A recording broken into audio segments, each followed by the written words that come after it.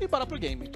E vamos ver quem que vai ser é, realmente, quem vão ser os times que vão se destacar. A gente tem na Los Grandes, El Gato Rico, El Argonote, Argonote, né? Tentei isso então, o sotaque aqui não deu. El Orochi, El Chefão.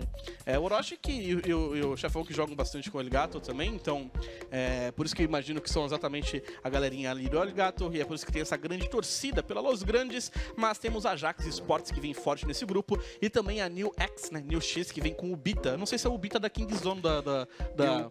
Eu também não sei passada. dizer. Se foi, é um grande jogador. Foi é um, um grande jogador, jogador que na fase de grupos ali somou muitos abates.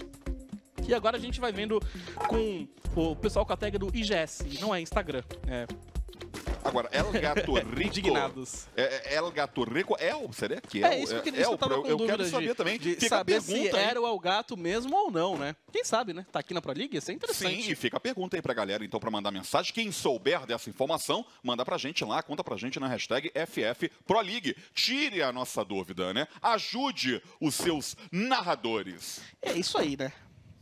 Mandando um salve para Death Players, o Luiz Ferreira pedindo por aqui. Vou também mandar um, um, um, alô aí pra galera da Guilda 3D, que é três dimensões. Aqui quem fala é o Tolete. Guilda F2F, aí, né? Da Alphas também. Aí eu não vou nem, eu não posso nem, nem falar muito, né? A guilda RD2 pedindo um, um, alô também, falando que um dia estarão aqui, né? Vitor Dias mandando a mensagem. Esperamos te ver aqui.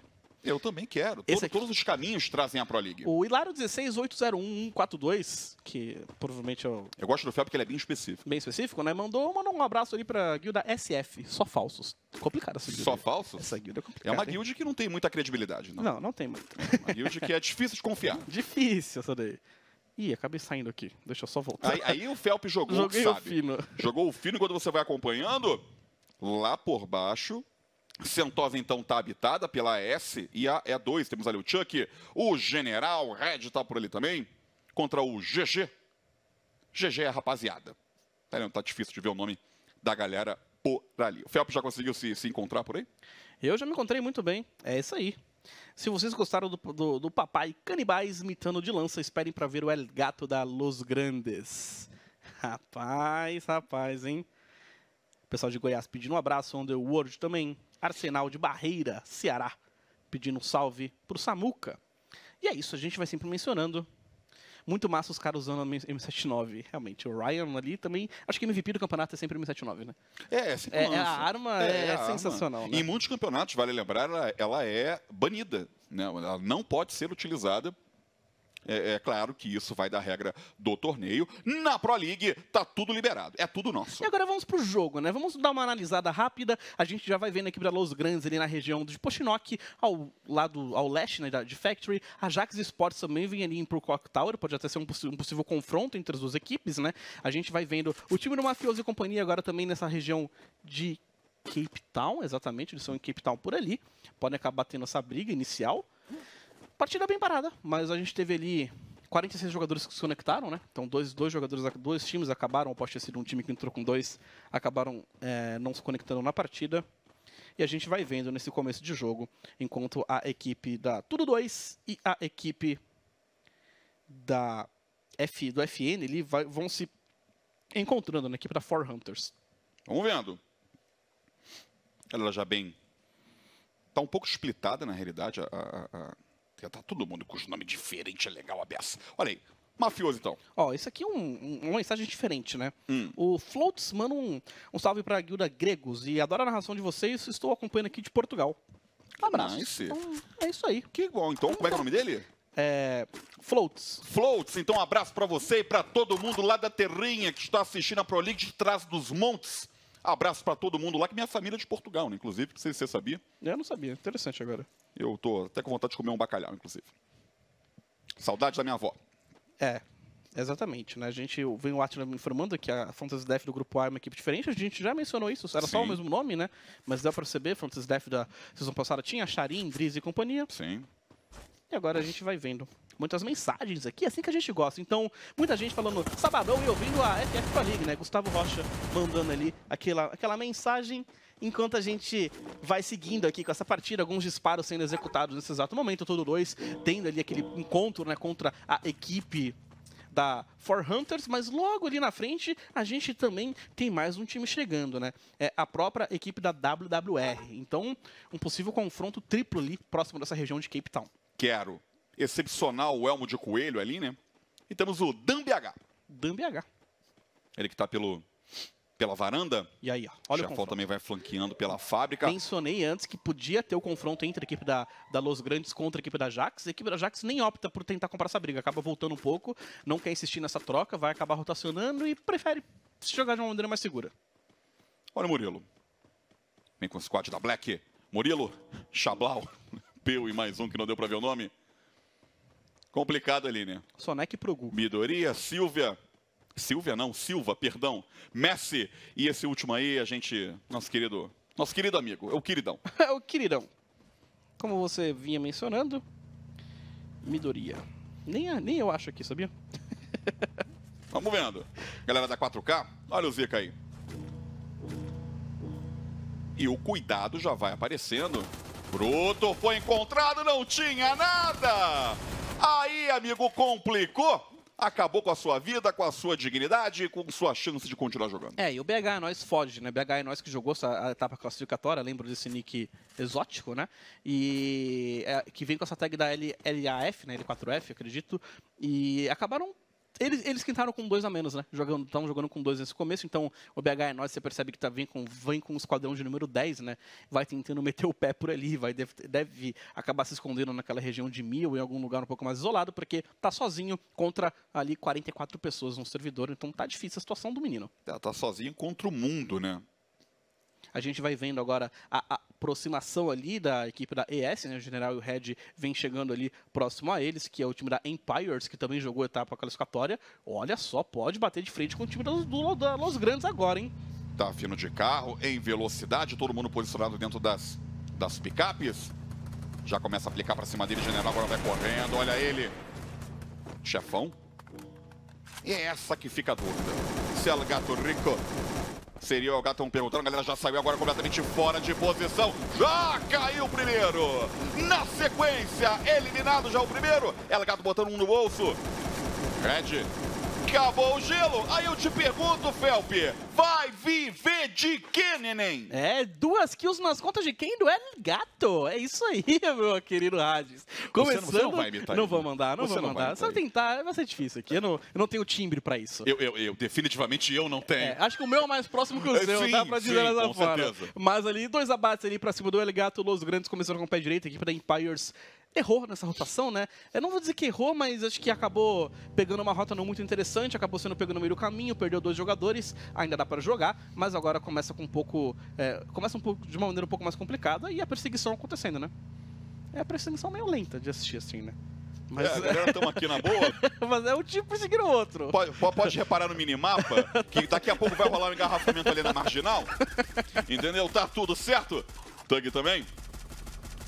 Tirando, já buscou posicionamento, o Tug só mandando bala, não conseguiu conectar ninguém, acabou se enrolando um pouco, se embananando um pouco ali o Tug, mas tá tudo certo.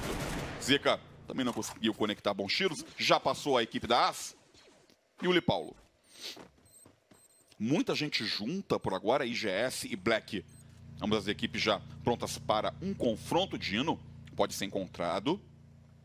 Midoriya passou pelo outro lado, foi já derrubado. Sem muito o que fazer, amigo. Vai ficar ali de pouquinho em pouquinho, virou passageiro da agonia. Dino agora vem pro combate, trabalhou a granada!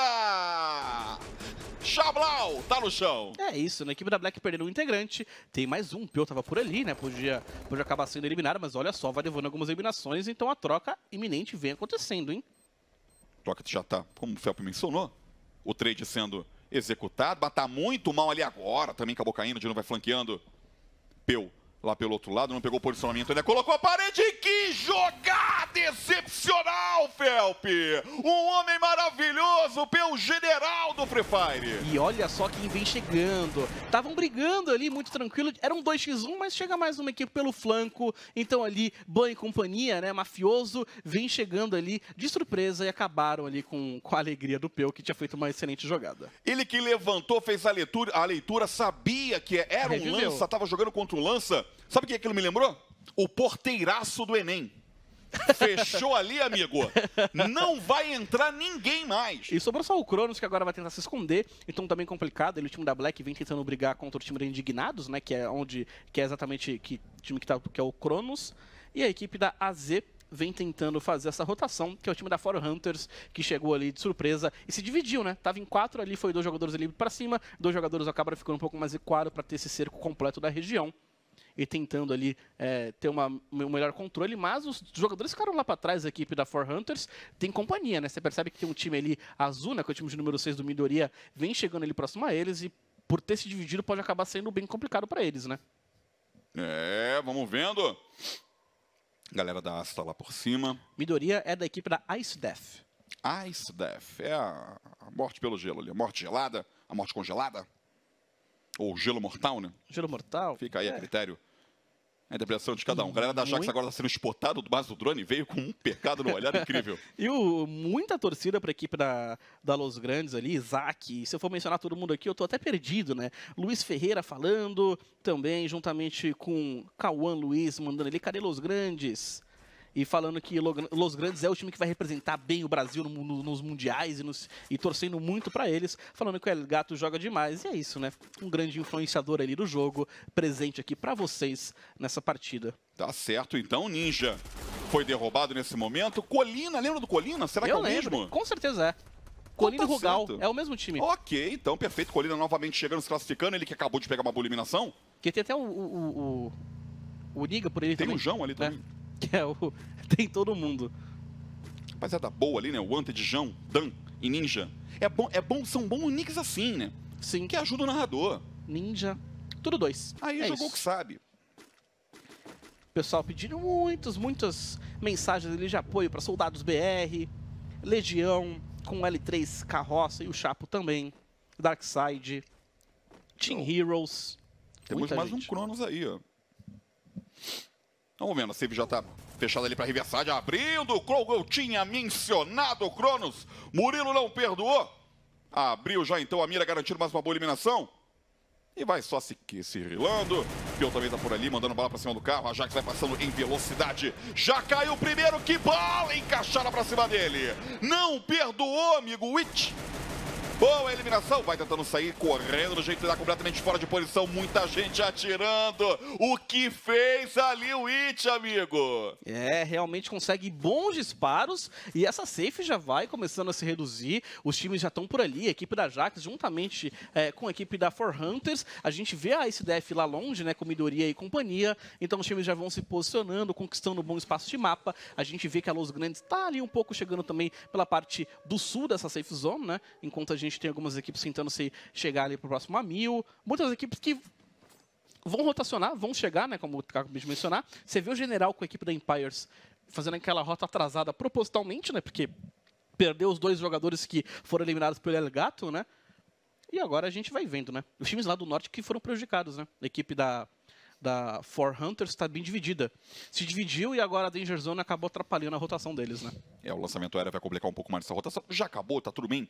Tá tranquilo. Tá tudo certo? Ah, possivelmente já ia aguardar realmente fazer a rotação com o gás.